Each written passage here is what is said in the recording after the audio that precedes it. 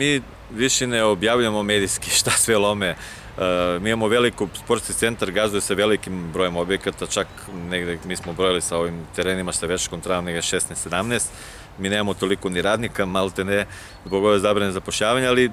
svaki dan se desi nešto i dobro, ne, nešto i loše. Ono što, e, što je loše da i na Keju i na Sarlahu, bukvalno je ove sprave, imamo da, da se svako veče nešto polomi, nešto ruši, ne znamo razloge, ali smo imali i primjer da smo videli i neke sugrađene koji sutradan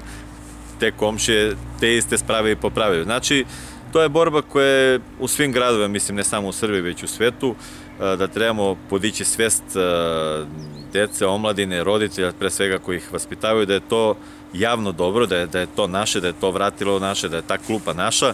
da, da, da je na korist svih i mislim da trebamo raditi na svom cilju, mi ćemo voditi borbu. Šteta je meni najviše, ajde klupa, ali kada vidim da je drvo polomljeno na keju ili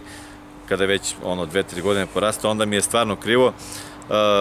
Postoji postoje obezbeđenja, ja za neki dan čak i postoje neke prijeve, ja idem na sud kao svjedok da vidim, ali generalno mislim da je sve u edukaciji i,